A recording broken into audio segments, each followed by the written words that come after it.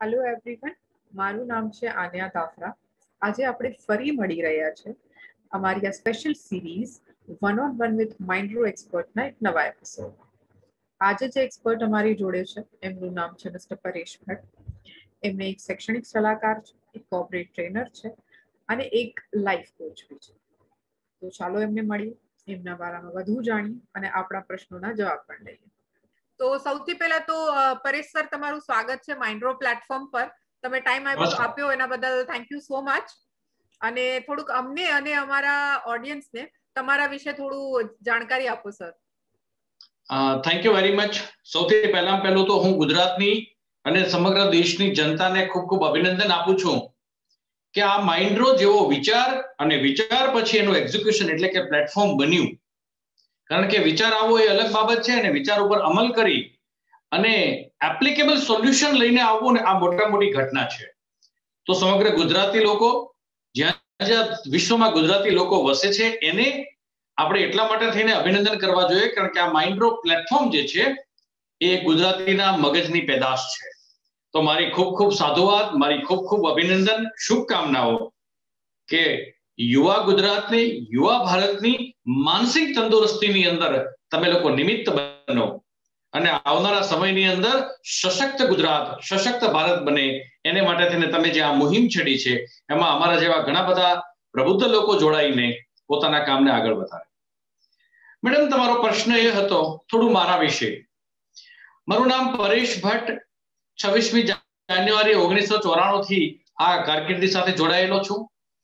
ભાવનગરની સાયન્સ કોલેજમાંથી sir PP institute of સાયન્સમાંથી બીએસસી વિથ ફિઝિક્સ કર્યું. પરંતુ મારો મુખ્ય ગમતો જે ઘટના છે, મારો ગમતો વિચાર છે, એ વાંચન છે, સંગીત છે, લોકોના મનની સાયકોલોજીને સમજવું એ છે, અને સમય જતા હું મારા ટ્રેનિંગના વ્યવસાયમાં આવ્યો. ઘણી બધી અલગ અલગ કંપનીઓ સાથે જોડાઈને સફળતાપૂર્વક ટ્રેનિંગના વ્યવસાયમાં હું કામ કરી રહ્યો છું. પરંતુ એમાં પણ બે ક્ષેત્ર એવા છે કે જે ક્ષેત્રમાં મને વધારે કામ કરવાનો મને સૌભાગ્ય મળ્યું છે, પ્રાપ્ત થયું છે. અને એક છે એજ્યુકેશન અને બીજું છે સિનિયર સિટીઝનનું કાઉન્સેલિંગ. તમે મારી વાત સાથે સંમત થશો કે અત્યારે એકવીસમી સદીનો સૌથી વધારેમાં વધારે જો કોઈ ગ્રોથ કરતો જો ડિઝીઝ હોય, રોગ હોય, તો એ છે સાયકોલોજીકલ સ્ટ્રેસ અત્યારે દસમાંથી ચાર માણસ સાયકોલોસોમેટિક ડિસઓર્ડરમાંથી પસાર થઈ રહ્યા છે. ગઈ સદી સુધી સૌથી વધારે વધારે ફાસ્ટ ગ્રોઈંગ મેડિસિન કોઈ હોય તો એ કાર્ડિયાક અને ડાયાબિટીક હતી. અત્યારે આ જ જગ્યા લઈ લીધું છે સાયકોસોમેટિક એટલે મનોદૈહિક પ્રશ્નોના જે દવાઓ વેચાય છે એમાં ખૂબ જ ગ્રોથ જોવા મળે છે. આના મૂળમાં જઈને હું કામ કરું છું. એટલે અત્યારે હું ઘણી બધી શાળાઓ, ઘણી બધી કોલેજ ઘણી બધી યુવા સંગઠનોની સાથે એજ્યુકેશનની અંદર માર્ગદર્શન આપવાનું કામ કરી રહ્યો છું. અને સાથે સાથે મેન્ટલ હેલ્થ માટે થઈને હું સિનિયર સિટીઝન કે જે લોકોને માનસિક રીતે ભૂતકાળની ઘણી બધી પીડા છે વર્તમાનનો સંઘર્ષ છે અને ભવિષ્યની ચિંતા છે એવી પરિસ્થિતિમાં પસાર થયેલા લોકોનો સાથે વાર્તાલાપ કરી અને એપ્લિકેબલ સોલ્યુશન આપવાનો પ્રયત્ન કરું છું. કારણ કે આમાં એપ્લિકેબલ શબ્દ વધારે અગત્યનો છે. તો આ નાની એવી મારા વિશે ઓળખાણ છે. Yes over to you madam બહુ સરસ સર બહુ સરસ. થેન્ક યુ સો મચ અમને આટલું બધું ડિટેલમાં સમજાવવા માટે આઈ થિંક તમારી વાતો એટલી પ્રભાવિત કરી દે એવી છે કે થાય કે ચલો સર બોલ્યા કરે અમે સાંભળ્યા કરીએ. જી જી જી સર પેલો ક્વેશ્ચન મારો તમારો એજ્યુકેશન ને રિલેટેડ જ છે. તમારી પાસે એજ્યુકેશન કાઉન્સિલિંગ નો વિશાળ અનુભવ છે. તમે ઘણા વર્ષોથી આ ફિલ્ડમાં કામ કરી રહ્યા છો. તો હું તમને એ જ પૂછવા માંગીશ કે એજ્યુકેશનની બાબતમાં બાળકોએ અને ખાસ કરીને માતા પિતાએ ક્યાં અને કેવી રીતે કાળજી લેવાની જરૂર છે? મને ગમતો સવાલ તો ચોક્કસ છે, પરંતુ હું તમને થોડા ભૂતકાળમાં લઈ જઈશ. અન્ય, આપણે અત્યારે એકવીસમી સદીમાં જીવીએ છીએ. હું જવાબ આપને આપી રહ્યો છું, પરંતુ આ પ્રશ્નનો જવાબ તમામ વાલી કાન સરવા કરીને સાંભળે એવી મારી ભલામણ છે. અત્યારે આપણે એકવીસમી સદીમાં જીવીએ છીએ. એકવીસમી સદી પહેલા વીસમી સદી અને વીસમી સદી પહેલા ઓગણીસમી સદી હતી. આ ઓગણીસમી સદીથી યાત્રા બહુ સંક્ષિપ્તમાં કરાવું તો. ઓગણીસમી સદીમાં આપણે મોટો માણસ કોને કહેતા હતા? ઓગણીસમી સદીમાં આપણે મોટો માણસ એને કહેતા હતા જેની પાસે જાજી જમીન હતી. વાંચો મેઘાણી સાહેબ ને અઢારસો પાદરનો ધણી, બાણું લાખ માળવાનો ધણી, મતલબ એની પાસે જાજી જમીન હતી. તો અઢાર ઓગણીસમી સદી એ જમીનદારની સદી હતી. પંદરમી ઓગસ્ટ ઓગણીસો ને સુડતાલીસની મધ્યરાત્રિ આપણો દેશ આઝાદ થયો. થેન્ક્સ ટુ સરદાર પટેલ સમગ્ર ભારતનું એકત્રીકરણ થયું. રજવાડાનું વિલીનીકરણ થયું. રાજાઓએ પોતાની જમીનો સરદારના ચરણમાં અર્પણ કરી દીધી. રજવાડા ગયા. પછી કોની સદી હતી? જમીનદારની સદી ગઈ, અમલદારની સદી આવી. અમલદાર એટલે પાવર ઓફ પોસ્ટ મારો દીકરો કલેક્ટર મારા પિતાજી ન્યાયાધીશ તો ઓગણીસમી સદી એ જમીનદારની સદી હતી, વીસમી સદી એ અમલદારની સદી હતી, આ એકવીસમી સદી એ સમજદાર લોકોની સદી છે. અત્યારે કોની પાસે જાજી વિદ્યા છે, કોની પાસે જાજુ નોલેજ છે, અને આ સમજદાર લોકોની જે એક એક ડેવલપમેન્ટ થઈ રહ્યું છે, એનેમાં શિક્ષણ સૌથી અગત્યની બાબત છે. અને એટલા માટે શિક્ષણની અંદર કાઉન્સેલિંગ અને એડવાઇસ થવી હવે સમયની માંગ છે. હવે તમારો પ્રશ્ન એ છે કે એમાં વિદ્યાર્થી અને વાલીએ શું ધ્યાન રાખવાનું? આપણે જો એજ્યુકેશનને એક અલગ અંદાજથી જોવો હોય તો સૌથી પહેલા પહેલી વિનંતી કે તમામ પેરેન્ટ આ બાબતને બહુ ગંભીરતાથી લે. એજ્યુકેશનને આપણે ત્રણ ભાગમાં વહેંચીએ. કેજી નર્સરીથી શરૂ કરી અને ધોરણ નાઇન્થ એટલે કે નવમા ધોરણ સુધીનો એક અભ્યાસક્રમ બીજું છે એસએસસી ઇલેવન્થ અને ટ્વેલ્થ કે જે કારકિર્દી માટેના ખૂબ જ અગત્યના પાયા છે એ અને સાથે સાથે કોલેજનો સમય કે જે સમયે બાળકે ઇન્ડિપેન્ડન્ટલી પોતાની જાત સાથે એક જીવતો થઈ ગયેલો છે. આ ત્રણે ત્રણની અંદર પેરેન્ટિંગ છે ને એ ખૂબ અગત્યનું છે અને આ પેરેન્ટિંગમાં સૌથી અગત્યનું પેરેન્ટિંગ એકથી નવનું છે. અત્યારે એવી કેટલી બધી મમ્મીઓને હું ઓળખું છું, મેડમ. મારો એક આદર એક પ્રશ્ન હોય છે. કે તમે તમારા બાળકને વાર્તા કહો છો ખરા? હું તો એમ કહું છું કે જે બાળકની માને મિનિમમ પચાસ વાર્તા કહેતા ન આવડતું હોય, એવા બાળકને નિશાળે મૂકવું જ ન જોઈએ પહેલા એની મમ્મીને નિશાળે જઈને વાર્તા શીખવાની જરૂર છે. કારણ કે આપણી આદત છે, આપણે વાર્તામાંથી શીખીએ છીએ. એટલે ઘણી વખત અમુક લોકો ફરિયાદ કરે છે કે સાહેબ બાળક છે ખાતું નથી. અમારું બાળક આ પેરેન્ટિંગ માટે થઈને બહુ અગત્યની વાત છે અને અહીંથી એજ્યુકેશન શરૂ થાય છે. અહીંથી ડિસિપ્લિન શરૂ થાય છે. ઘણા લોકોને હું કહું કે તમે તમારા બાળકને વાર્તા કહો છો? હા સાહેબ, વાર્તા કહું છું ને. કેવી રીતે? હું યુટ્યુબમાં ચાલુ કરી આપું છું. યુટ્યુબમાં ચાલુ કરેલી વાર્તા એ વાર્તા ન કહેવાય. સાયન્સ ઓફ સ્ટોરી ટેલિંગ આ મમ્મી પપ્પાએ હવે સમજવું પડશે. તો એજ્યુકેશન અહીંથી શરૂ થાય છે. એજ્યુકેશન એટલે માત્ર દાખલા ગણીને સારી માર્કશીટ લઈને આવી એ એજ્યુકેશન નથી. કારણ કે આપ પણ મારી સાથે સહમત થતા હશો. ઇન્ટરવ્યુ એટલે એટલે એજ્યુકેશન અથવા તો કોલેજનું સર્ટિફિકેટ એટલે માત્ર ઇન્ટરવ્યુ આપવા માટેની મિનિમમ યોગ્યતા. પછી એનાથી વધારે આપણે કોઈ મદદ કે સર્ટિફિકેટ કરવાનું નથી. બીજું છે એસએસસી ઇલેવન્થ અને ટ્વેલ્થ તો એવા સંજોગોની અંદર મેડમ બહુ અગત્યની વાત છે. બાળક જાતે ભણતો થાય એવું વાતાવરણ મમ્મી પપ્પાએ આપવાનું છે. બાળક જાતે ભણતો થાય. કારણ કે સેલ્ફ લર્નિંગ એ હવે પછીના સમયની અંદર એકવીસમી સદીમાં ન્યૂ નોર્મલમાં અને નવી શિક્ષણ નીતિમાં આવ્યા પછી મમ્મી પપ્પાએ એની સાથે કોઈક અલગ રીતે બિહેવિયર કરવું પડશે અને ત્યારે બાળક જાતે ભણતો થશે.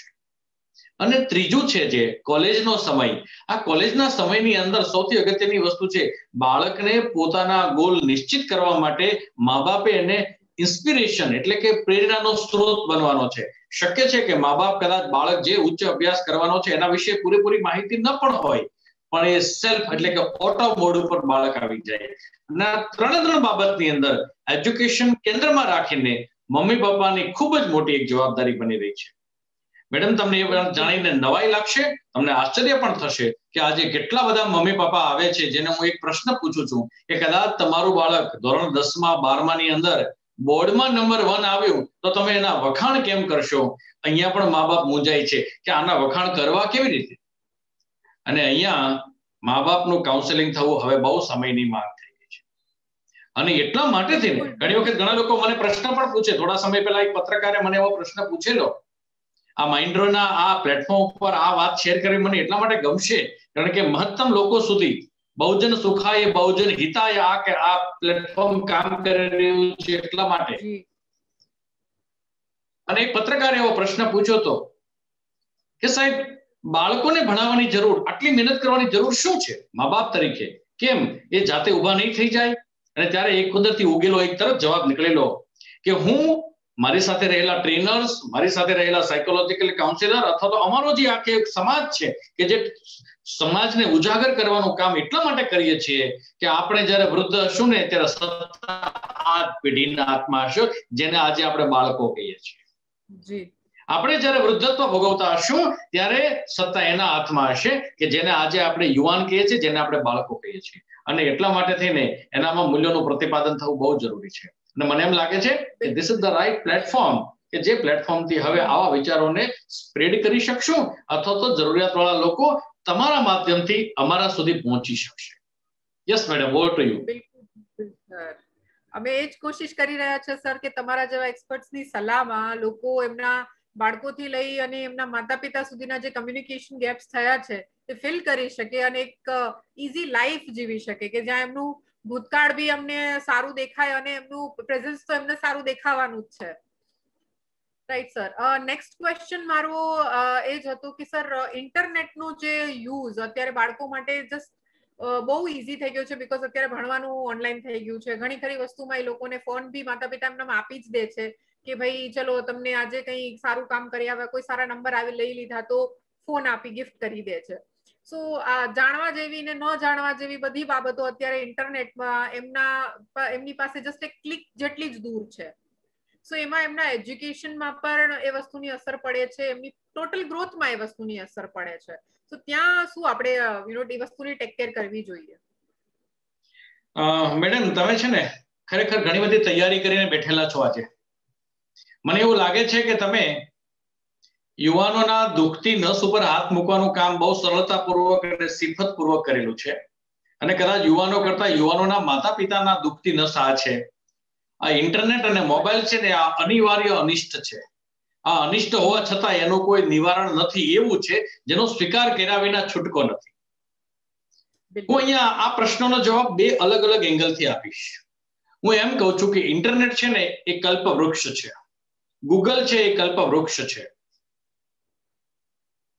આપણે જે માંગીએ છીએ એ એમાંથી મળે છે. બસ શું માગવું એ આપણો વિવેક છે. અને આ શું માગું એ વિવેક મારી અને તમારી જેવા લોકોની સાથે રહેવાથી આ વિવેકની પ્રગટીકરણ, વિવેકનું જાગૃતિકરણ થશે. કદાચ કોઈ એક યુવાન છે. એ યુવાન પોતાના ઇન્ટરનેટની અંદર સામ પિત્રોડા નાખે છે. તો સામ પિત્રોડા સાહેબની બધી પેટર્ન અને એના રિસર્ચ આવશે. એ સ્ટીફન હોકિન્સ નાખે છે. તો સ્ટીફન હોકિન્સ સાહેબની બધી જ વૈજ્ઞાનિક શોધો આવશે અને એ સની લિયો નાખે છે. તો એના વિશે આવશે. શું માંગવું એ વિવેક પ્રગટ કરવો ને એ આપણા જેવા પ્લેટફોર્મ પ્રોવાઈડર્સ મા બાપની આ એક જિમ્મેવારી છે. અને એટલા માટે થઈને હવે હું આ મા બાપને જવાબ આપવાની કોશિશ કરીશ. આ અનિવાર્ય અનિષ્ટ છે. આપ્યા વિના ચાલવાનું નથી. તો આનું સોલ્યુશન શું છે? હું તો એપ્લિકેબલ સોલ્યુશનનો માણસ છું. અને એટલા માટે થઈને હંમેશા હું મા બાપને કહેતો હોઉં છું ઓલવેઝ ટ્રસ્ટ બટ વેરીફાઈ વિશ્વાસ કરો, પણ વિશ્વાસને વારે વારે વેરીફાઈ કર્યા કરો. તમે પંદર હજાર, વીસ હજાર, પચીસ હજાર કે લાખ રૂપિયાની કિંમતનો મોંઘો મોબાઈલ તમારા દીકરાને કે દીકરીને આપેલો છે. પૂર્ણ હક સાથે આપણે કહી શકીએ લાવ બેટા, તું એમાં શું જોવે છો એ મને કે. અને હું હંમેશા મારા પ્રવચનોમાં કહેતો હોઉં છું કે જ્યારે આપણને કોઈ નથી જોતું, ત્યારે આપણે મોબાઈલમાં જે જોઈએ છે ને એ આપણું ચારિત્ર છે. જ્યારે આપણને કોઈ જોતું નથી, ત્યારે મોબાઈલમાં આપણે શું જોઈએ છીએ એ આપણું ચારિત્ર છે. અને આ વાત યુવાનોથી શરૂ કરીને વૃદ્ધત્વ સુધીના બધા લોકોને લાગુ પડે છે. અને જેને પણ લાગુ પડતો હોય, એને બંધ વ્યક્તિ બંધ બેસતી પાઘડી પહેરી લેવાની છૂટ છે. કારણ કે આ it is applicable for the everybody આ ઇન્ટરનેટ છે, એ સાચા અર્થમાં જોઈએ તો ઉપકારક છે, પણ એટલું જ ઘાતક છે.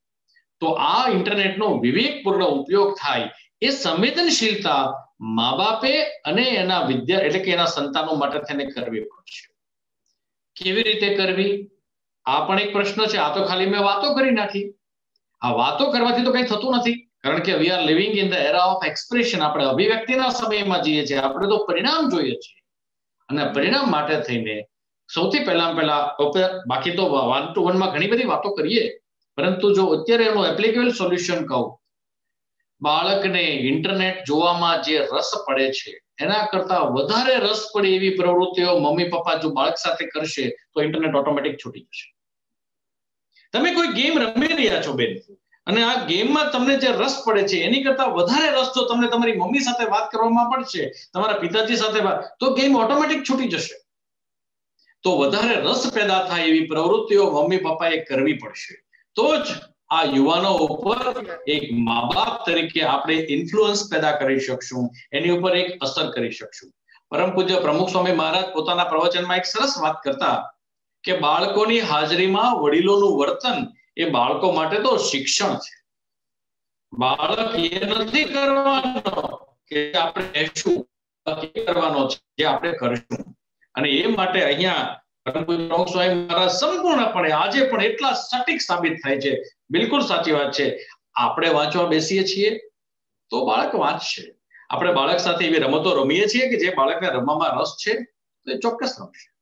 Yes ma'am over to you thank you so much sir બહુ સુંદર જવાબ આપ્યો તમને. હવે એ જ વાતથી મને એક વસ્તુ બીજી બી યાદ આવી કે તમે જે વાત કરી હતી કે એમને આપણે હકથી પૂછી શકીએ કે, લાવ તારા ફોનમાં શું છે, મારે જોવું છે? સો એ જ વસ્તુ જે અત્યારે આપણે ખૂટી રહી છે સમાજમાં છે, જે કમ્યુનિકેશન ગેપ વધ્યો છે. બાળકો વચ્ચે અને એમના પેરેન્ટ્સ વચ્ચે.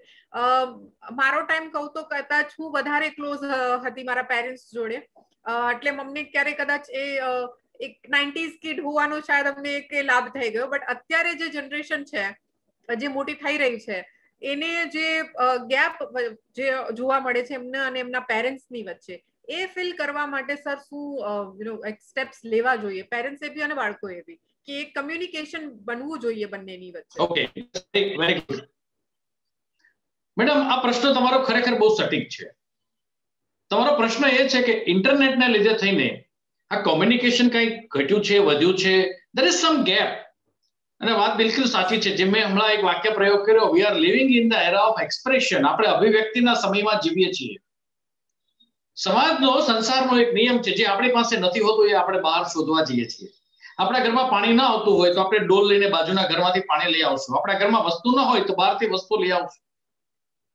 મતલબ કે કોમ્યુનિકેશન ગેપ છે તો પરિણામ છે, પરંતુ બેકએન્ડમાં થયેલી પ્રોસેસની જો વાત કરીએ, તો ઉષ્મા હું પ્રેમ, વફા, આ જે શબ્દો છે એ માત્ર ગઝલ પૂરતા, ચોપડી પૂરતા, બોલવા પૂરતા કે વોટ્સઅપની અંદર આપલે કરવા પૂરતા મર્યાદિત થઈ ગયા છે. There is no harmony between family members આ મૂળ એનું કારણ છે. આ મૂળ એનું કારણ છે.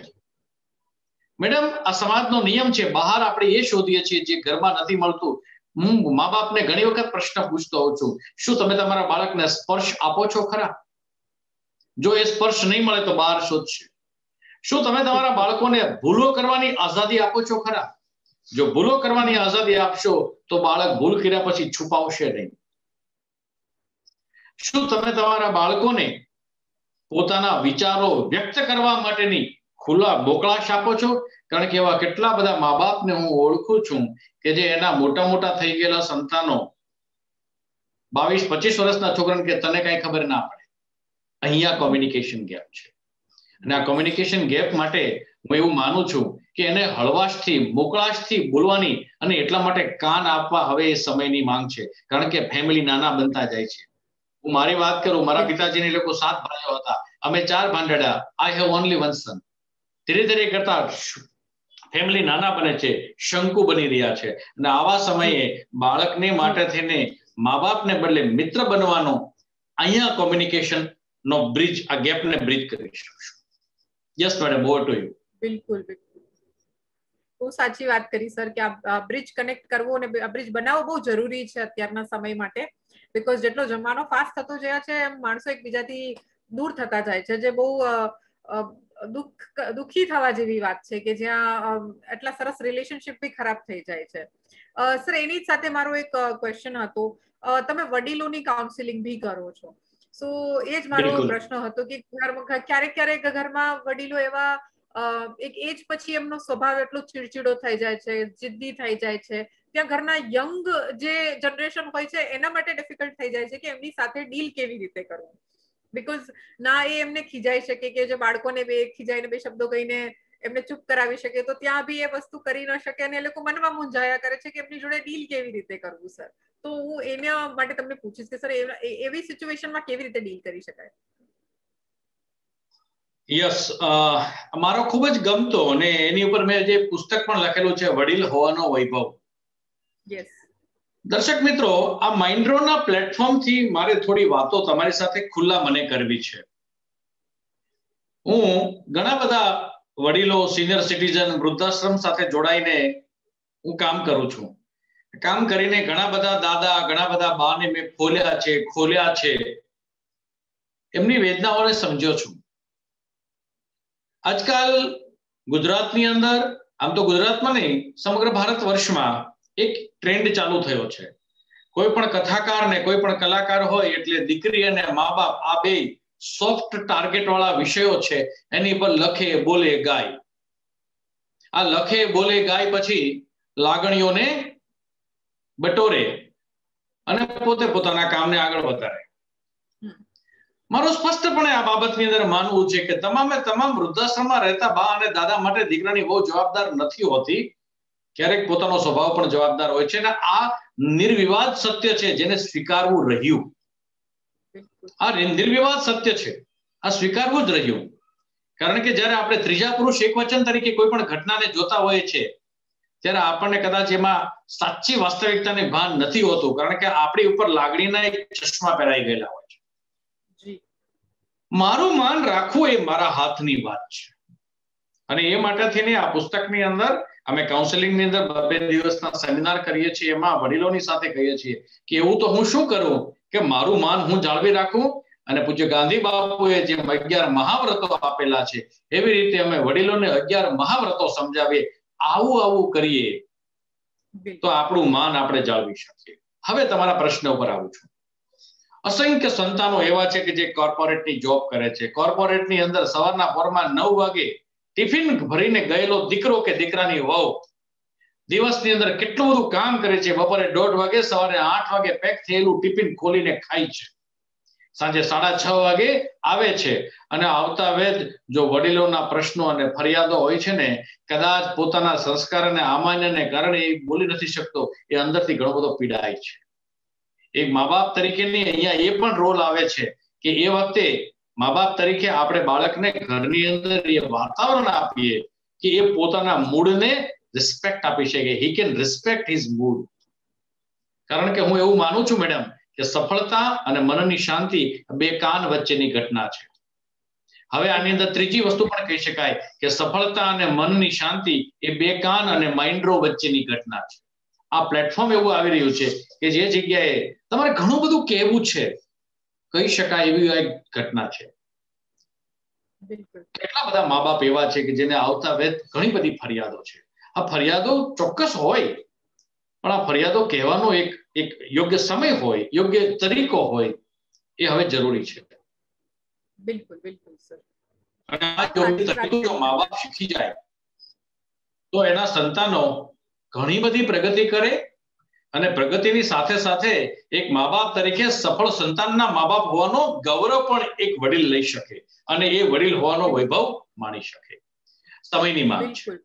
અને અત્યારે આ પ્રકારના કાઉન્સેલિંગથી ઘણા બધા હકારાત્મક સકારાત્મક ફેરફારો લાવી શકાયા છે. Yes madam over to you thank you so much sir બહુ સારી વાત કરી અને સાચી વાત કરી કે જરૂર છે અત્યારે ખરેખર બીજાની જરૂરી નથી કે અગર એ વીસ પચીસ વર્ષનું છે તો એને કોઈ પ્રોબ્લેમ નહીં હોય, એને કોઈ તકલીફો નહીં હોય. એની પોતાની તકલીફો હોય છે કામ કરતા લોકોની. અત્યારે કોર્પોરેટનું જે જીવન ફાસ્ટ એન્ડ હાર્ડ થઈ ગયું છે, અમારા જેવા અનુભવ બી કરે છે એનું. તમે કોર્પોરેટની વાત કરી એટલે મને એનાથી જ રિલેટેડ એક સવાલ આવ્યો સર કે કોર્પોરેટમાં કામ કરતા જે લોકો છે, એનું સ્કેડ્યુલ એટલું હેક્ટિક હોય છે, એમના ટાઈમિંગ્સ એમના જોબ કરવાના જે કલાકો હોય છે એ પ્રેશરમાં કામ કરતા હોય છે. હવે ત્યાં મેન્ટલ હેલ્થની જાળવણી કેટલી જરૂરી છે સર મેન્ટલ હેલ્થ છે ને બધી જરૂરી છે. એટલે એવું જરૂરી નથી કે ખાલી કોર્પોરેટમાં કામ કરવા વાળા લોકો માટે જ આ મેન્ટલ હેલ્થની આવશ્યકતા છે. પણ હા હું એવું માનું છું કે આ દુનિયાની અંદર જે માણસ મેન્ટલી ફિટ છે, એ જ વ્યક્તિ સફળતાને પાર કરે છે. આપણે બધા જાણીએ છીએ, એટલે આ ફોર્મ્યુલાને વારે વારે દોહરાવવાની જરૂર નથી, પણ પહેલા પેલું આઈક્યુ હતું ઇન્ટેલિજન્ટ ક્વેશ્ચન પછી એમાં ઈક્યુ ઇમોશનલ ક્વેશ્ચન આવ્યું, પછી ત્રીજું એમાં P Q physical question add થયું, અને હવે અત્યારે એસ ક્યુ સ્પિરિચ્યુઅલ ક્વેશ્ચન પણ એમાં એડ થયું, અને જાત જાતના ક્વેશ્ચન ઉપર આજકાલ ઘણી બધી ચર્ચાઓ થઈ રહી છે. પરંતુ માત્ર ચર્ચા કરવાથી કશું થતું નથી.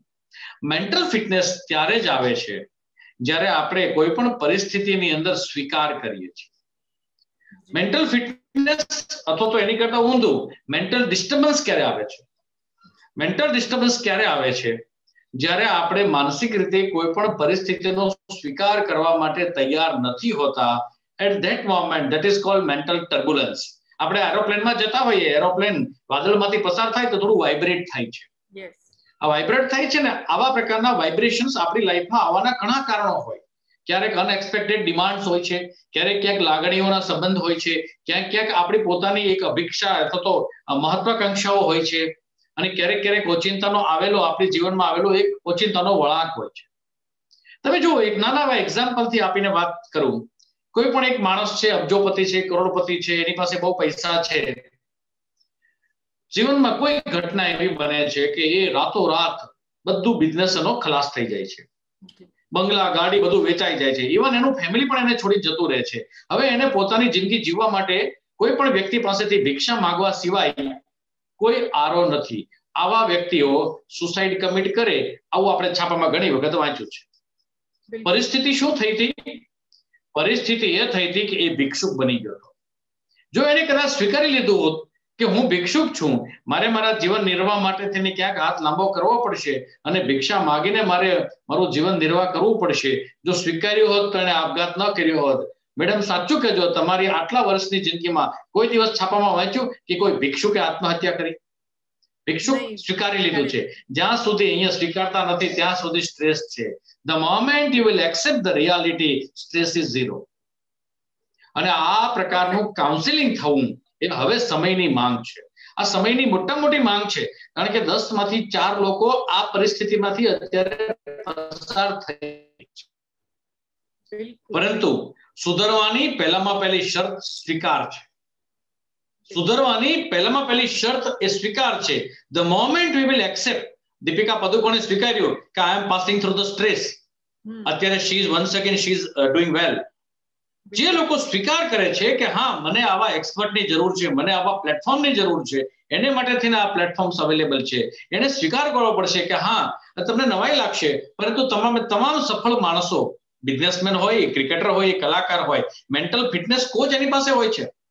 અને એનું કશું જ કામ નથી. માત્ર અઠવાડિયે જઈને કલાક બે કલાક બેસવાનું પડે. કલાક બે કલાક બેસીએ. એ દરમિયાન એની વાતોમાં વાતોમાં એની મેન્ટલ ફિટનેસ ને સામે વાળો એક્સપર્ટ સમજી જતો હોય છે. અને અમે એના તો પૈસા લઈએ છીએ. તો we are charging for that બિલકુલ તો friends mental fitness is very important in the life અને મને એમ લાગે છે કે આ અમારા પ્રશ્નો દ્વારા તમારી અંદર પણ ઘણા બધા ઉઘાડ આવતા હશે કે હા યાર હવે પછીના સમયમાં એકવીસમી સદીમાં સફળ થવું હશે તો આપણે મેન્ટલ ફિટનેસ ઉપર પૂરેપૂરું ધ્યાન આપવું પડશે. Yes madam ball to you બહુ સાચી વાત કરી સર કે મેન્ટલ ફિટનેસ એ આપણી અત્યારની પ્રમુખ જરૂરિયાત છે અને એ બધાએ સમજવાની જરૂર છે. સર તમે પ્લેટફોર્મની વાત કરી એટલે લાસ્ટ ક્વેશ્ચન મારો એ જ હશે કે તમે માઇન્ડ્રો પ્લેટફોર્મને પસંદ કર્યું અને એનું એના પાછળનું કારણ શું હતું સર અને તમારા માઇન્ડ્રો પાસેથી અને આપણે સાંભળતા લોકો માટે એક મેસેજ બી તમારા તરફથી અને માઇન્ડ્રો તરફથી બી. Okay thank you very much madam કદાચ આશા રાખું છું કે આ છેલ્લો સવાલ હશે. હાજી સર વધારે ટાઈમ નહીં લઉં તમારો હવે. માઇન્ડ્રો એક એવું પ્લેટફોર્મ છે. મેં જેમ મારી વાર્તાલાપની શરૂઆતમાં કીધેલું કે ગુજરાતના સમગ્ર ભારત વર્ષના તમામ યુવાનો તમામ લોકોને મારી શુભકામના કારણ કે મિત્રો હું અંગત રીતે એવું માનું છું કે મેન્ટલ ફિટનેસ ખૂબ અગત્યની છે અને મેન્ટલ ફિટનેસ માટે થઈને આપણી પાસે અત્યારે અધૂરી સલાહ આપવાવાળા બહુ બધા લોકો ફૂટી નીકળ્યા છે. હું એવા કેટલા બધા લોકોને ઓળખું છું કે જે વ્યક્તિના લગ્ન નથી થયા, પણ લગ્ન જીવન ઉપર કલાકો સુધી બોલી શકે છે. ઘણા બધા એવા લોકો છે જેને ઘરે હજી સંતાન નથી, પણ બાળ ઉછેર ઉપર બહુ સરસ અને પાછું કે પણ ખરા કે અમારા લગ્ન નથી થયા, પણ જાનમાં બહુ ગયા છે અનુભૂત સત્ય આપવા વાળા જેની પાસે એક્સપેરિમેન્ટેડ ટ્રુથ છે, એવા લોકો આ સંસ્થા સાથે જોડાઈને જ્યારે કામ કરે છે ત્યારે આ કામ પ્લેટફોર્મ મને એમ લાગે છે કે આ યોગ્ય પ્લેટફોર્મ છે. નંબર વન નંબર ટુ આ પ્લેટફોર્મ એ માત્ર ને માત્ર કમાણીનું સાધન નથી. કમાણી કરવી હોય ને તો ઘણા બધા અલગ પ્લેટફોર્મ છે. નો ડાઉટ કેન્દ્રમાં બિલકુલ આમાં આર્થિક ઉપાર્જન ચોક્કસ હોવું જોઈએ. પરંતુ હું એમ માનું છું કે સુપર સેબી ઉપર અથવા તો બેટર ધેન ધ બેસ્ટ આની એક યુએસપી જો હોય તો એ એ છે કે અહીંયા લોકો આવીને વાત કરી શકે છે ખોલી શકે છે પોતાની જાતને એક્સપ્રેસ કરી શકે છે. કેટલા બધા મા બાપ એવા છે કે જેના પોતાના ડ્રીમ છે કે સાહેબ હું નથી ભણ્યો મારે મારા સંતાનને ભણાવવું છે. કેટલા બધા મા બાપ એમ કે સાહેબ મોંઘામાં મોંઘા ટ્યુશન ટ્યુશન રાખે ટકા નો તમારે એને માટે થઈને તમારા સંતાનોને યોગ્ય માર્ગદર્શન આપવા વાળા લોકો જોઈએ અને આ લોકો આ પ્લેટફોર્મ પર ભેગા એટલે હવે આમ નેજવા માંડીને જોવું નહીં પડે. કે યાર, મારો દીકરો એસએસસી માં છે તો હું કોની સલાહ લેવા જાઉં? અને ક્યાંક કોઈક સલાહ અધૂરા, અધકચરા લોકો દ્વારા જો અપાઈ જશે તો? તો આપણા જ બાળકની જિંદગી બગડી શકે. અને એના બદલે અહીંયા એટલીસ્ટ અનુભૂત સત્યવાળા લોકો સાથે જોડાવાનો આપણને મોકો મળે છે. એક વાત. બીજી વાત. એવી કેટલી બધી મમ્મીઓ છે કે જે મમ્મીની ઘણી બધી ઈચ્છા છે. કારણ કે હસબન્ડ વાઈફ બંને જણા વચ્ચે વૈચારિક એક ગેપ છે. સાયકોલોજીકલ ગેપ કરતા થોટ પ્રોસેસનો ગેપ છે. અને મમ્મી એમ કે છે કે બાળકને ખૂબ ભણાવવો છે. પપ્પા એમ કે છે કે બાળકને મારા બિઝનેસમાં લઈ જવા છે. આવા સંજોગોની અંદર મમ્મી પોતાની વાત, પપ્પા પોતાની વાત કરી શકે અને ફાઇનલી એક એવા ડિસિઝન ઉપર આવી શકીએ છીએ કે જે ડિસિઝન ઉપર બાળકનું ભલું થાય છે. એટલે વાત એ છે કે આર્થિક ઉપાર્જન કરતાય લોકોના મનને શાંતિ આપે આવું એક ઉપકારક આ એક પ્લેટફોર્મ છે. અને એટલા માટે થઈને આ પ્લેટફોર્મ સાથે જોડાવાનું અમને પણ વ્યક્તિગત રીતે ગમે છે. હું તો એવું કહીશ ચોક્કસ કે આ પ્લેટફોર્મ સાથે જોડાઈને Paresh Bhatt plus something add થાય છે. So I am really very happy અને હું માઇન્ડ્રોના પ્રમોટર્સ આપને બધાને ખૂબ ખૂબ સાધુવાદ આપું છું કે દુનિયાની અંદર, ખાસ કરીને ભારત વર્ષની અંદર યુવાનો, વડીલો બધાની માનસિક સ્વાસ્થ્યને સારું કરવા માટેની આ તમારી પહેલ છે, એ પહેલને તમે ખૂબ આગળ વધારો અને એવું નહીં કહી શકું કે બધા લોકો માનસિક રોગી બને અને તમારી પાસે આવે. પરંતુ એવું ચોક્કસ કહીશ કે જેટલા લોકો ઓલરેડી માનસિક બની માનસિક રોગી છે, એમની સેવા કરવાનો મોકો આ પ્લેટફોર્મને મળે અને આ પ્લેટફોર્મ સાચા અર્થની અંદર સમાજ સેવાનું એક કામ કરે એવી શુભકામના છે. Thank you thank you so much sir તમે બહુ સારી અને સાચી વાત કરી કે એક સેવા કરવાની ભાવના બી છે અને સાથે સાથે લોકોના, લોકોને મદદ કરીને એમના મિત્ર બનવાની બી ભાવના છે. કે અમને એક પ્લેટફોર્મ એવી રીતે ગણે કે આ એક અમારો બીજો મિત્ર જ છે, જ્યાં જઈને અમે અમારી પ્રોબ્લેમ શેર કરી શકશું એટલીસ્ટ તો બસ એ જ આશાથી આપણે લોકો કામ કરી રહ્યા છે ને તમારા જે એક્સપર્ટ્સનો બી અમને સાથ છે sir thank you so much તમે આજે ટાઈમ કાઢ્યો આટલો અને મારા આટલા બધા સવાલોનો જવાબ આપ્યો. Thank you so much sir અને બહુ બધા દર્શક મિત્રોને બી કહીશ કે હવે બહુ ટૂંક સમયમાં અમે લોકો લાઈવ આવી રહ્યા છે. તો પરેશ સર ત્યાં હશે, આવો તમારા જે બી ઇશ્યુઝ હોય, તમારા એજ્યુકેશનને લઈને રિલેશન્સને લઈને વોટ એવર ઇટ ઇઝ કે તમારા પેરેન્ટ્સની સાથે હોય, તમારા વડીલોની સાથે હોય. તમે આવી શકો પરેશ સરને મળી શકો અને તમારા બધા પ્રોબ્લેમના સોલ્યુશન્સ માટે Mindro is always there thank you so much sir thank you so much thank you madam ધન્યવાદ આવજો અને રાજી રહેજો thank you God bless you all thank you very much thank you sir